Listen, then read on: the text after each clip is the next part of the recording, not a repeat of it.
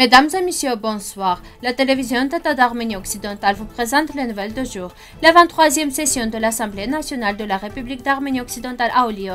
Le président de l'Artsakh a reçu des représentants de l'organisation sos chrétienne d'Orient, le trésor de l'Artsakh, Van Kassar, défenseur des droits de l'homme de l'Artsakh. Il est dommage que la voix de l'Artsakh ne soit pas entendue en tant que partie distincte dans les discussions sur différentes plateformes. Les habitants de Dersim veulent retourner dans leur village ensédi en 1994 entretien avec le président de l'Union nationale des Yezdi de la République d'Arménie, Kheit Hadjoyan.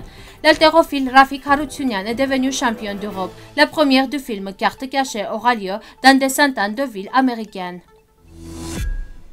Le 1er juin, la 23e session de l'Assemblée nationale d'Arménie occidentale a eu lieu avec la participation de 13 députés. Au cours de la session, les pas de l'ordre du jour tels que la lecture et la discussion du projet de loi soumis ont été discutés. Le président du Parlement, Nelly Haroutsounian, a résumé la session plénière du 28 mai. Lors de la discussion des affaires étrangères, le député de l'Arménie occidentale, Pablo Tailanian, représentant l'Uruguay, a présenté le projet de programme culturel qui a été discuté par le Parlement et le gouvernement à la fin de la session, le président de la République d'Arménie occidentale, Armenak Abrahamian, a également prononcé un discours. Enfin, les députés ont adopté l'ordre du jour de la prochaine session.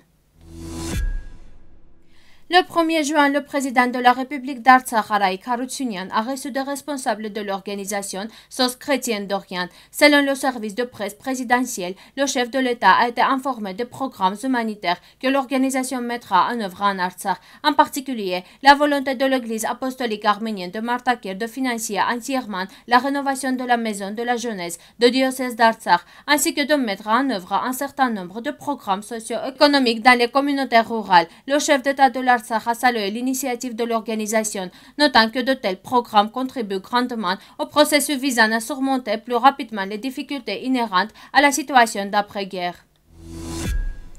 Construit au 6e à 7e siècle, Vankassar est situé sur un rocher appelé Vankassar sur la route Martakert-Stepanakert en Artsakh. L'ancienne capitale Tigranakert se trouve à 200 mètres de l'église. La composition de l'église présente non seulement une architecture arménienne, mais aussi une solution qui appartient à tous les chrétiens. Toutes les pierres de l'église de Vankassar portent les marques des maîtres sous forme de lettres arméniennes. Bien entendu, rien n'a été fait durant l'occupation azerbaïdjanaise pour préserver et restaurer ce caractère médiéval. En outre, l'église de Vankassar a subi de graves pertes lors de sa restauration de style azerbaïdjanais dans les années 1980. L'accès à l'église est souligné par une grande ouverture en arc reposant sur des tours cylindriques, et ce, dans le seul but de séparer de l'église une construction culturelle inappropriée qui se trouvait autrefois à proximité de l'église. La zone a été construite avec des bâtiments fins récréatifs. Il a été endommagé et ruiné lors de la dernière guerre de l'Artsar. S'adressant aux journalistes, le défenseur des droits humains de l'Artsar, Geram Stepanian, a déclaré S'il y a un manque de courage au niveau européen pour parler de Haute-Karabakh et du peuple de Haute-Karabakh, il est naturel que le peuple de l'Artsar manque de confiance dans ces négociations. En 1991, un peuple qui a créé un État a déclaré son indépendance et a enduré cela. Oui, nous sommes en faveur d'une solution globale au conflit et cette solution doit inclure la reconnaissance du droit du peuple d'Artsar à l'autodétermination. Lors des négociations menées différents moments, la partie arménienne a toujours été guidée par le principe d'un règlement global qui est acceptable pour nous aujourd'hui. Nous pouvons compter sur les doigts de la main les cas où le porteur d'un conflit n'est pas représenté dans les négociations. C'est absurde. Nous devons arriver au point où les représentants du peuple d'Artsar prennent part aux négociations pour déterminer le sort de leur peuple, a-t-il déclaré. Selon le rapport sur l'état d'urgence du gouvernorat daté de novembre 1997, 183 villages, 823 hameaux, 8439 ménages ont été évacués et 41 939 personnes ont été déplacées à Dersim en 1994. Les villages ont été brûlés et on a voulu déshumaniser la région. Les gens se sont retrouvés sans abri et sans maison à cette époque, ce qui a été un processus très difficile. Seifi Chareshis, président de l'association culturelle, sociale et solidaire solidaire du village de Merchant Valley Yerimkaya a évoqué l'évacuation des villages en 1994, le travail de l'association et le retour au village. L'association de culture sociale et solidaire Merchant Valley a été créée en 2004 à Constantinople. En tant qu'association, nous avons fait venir nos villageois de Constantinople pendant une période où les gens n'étaient pas autorisés à entrer dans la vallée de Mercan pendant cinq ans et nous avons campé en installant nos tentes. Nous avons organisé le festival de Mercan pour encourager les gens à revenir dans la vallée de Mercan et à lever les interdictions. Il y a de graves attentes à l'environnement à Dersim. Nous prévoyons d'organiser le festival de Mercan pendant les périodes de fête cette année afin de fermer la station d'épuration illégale de Mercan et de libérer l'eau dans notre vallée. Nous voulons que chacun retourne sur sa propre terre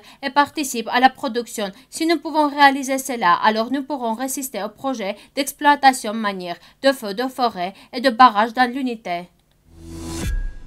Hidir Hachoyan, président de l'association des Yezdi de la République d'Arménie, s'est entretenu avec la correspondante Rudav Pesheva Bahtiar sur la culture et la vie des Yezdi en Arménie. Hidir Hachoyan a déclaré que les Yezdi qui ont migré en Arménie pendant la période ottomane avec la déportation ont continué leur lieu sain et leur tradition jusqu'à aujourd'hui et a dit à propos de la population de la communauté Yezdi en Arménie. Dans le récemment effectué en 2011, la population des a été déterminée comme 35 308. 11 ans ont passé. Les dirigeants de la communauté Yezdi s'accordent à dire que notre population est de 40 000 personnes. La République d'Arménie nous offre de nombreuses opportunités. Par exemple, nous avons un journal et une radio en langue Yezdi dans 60 écoles rurales et urbaines. Les enfants jusqu'à la deuxième année étudient l'histoire et la littérature Yezdi. En ce qui concerne les relations entre l'Arménie et les Yezdi de Shengal, Hachoyan, président de l'association des Yezdi d'Arménie, a déclaré que les relations avec les Yezdi de Shengal se développent de jour en jour.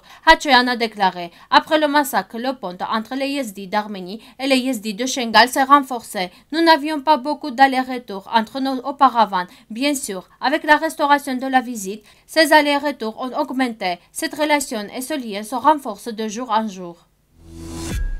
Les membres de l'équipe arménienne d'haltérophilie ont commencé le combat au championnat d'Europe. Cette année, les championnats d'Europe masculine et féminine d'haltérophilie se déroulent à Tirana, la capitale de l'Albanie. Karen Markarian et Rafik Harouchinian ont été les premiers à concourir dans l'équipe masculine arménienne. Rafik Harouchinian n'a pas pu tenir 155 kg dans sa tête lors de la première approche de l'exercice d'arraché, mais a ensuite soulevé 155 kg et 160 kg. Dans cet exercice, Rafik Harouchinian devenu médaillé d'argent du championnat d'Europe. Dans l'exercice de poussée, l'haltérophile arménienne a soulevé 187 kg, 194 kg et a remporté la médaille d'or. Rafik Haroutunian est devenu le champion d'Europe avec le résultat de 354 kg. L'Arménie occidentale félicite l'athlète arménienne et lui souhaite de nouvelles victoires.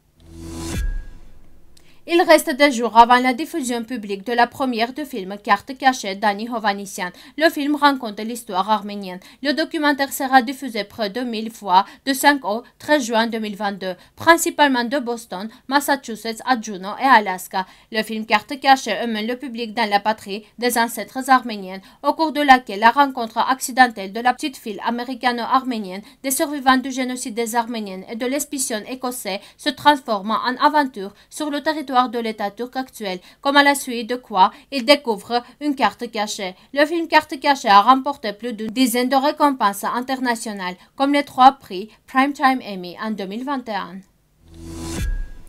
Merci de votre fidélité. À la fin de notre émission, vous pourrez profiter d'une performance musique folklorique des Arméniennes. Vous pouvez écouter la version complète de la musique sur notre site web.